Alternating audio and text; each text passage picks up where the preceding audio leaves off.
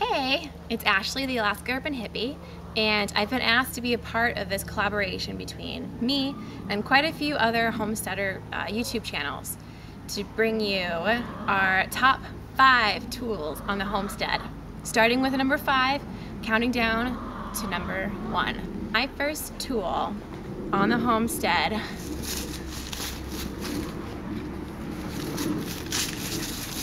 is a shovel. So my number five tool, um, the fifth thing that I think is the most important to have on my urban, urban homestead is a shovel. And I'll show you why. I use a shovel to move topsoil in my garden.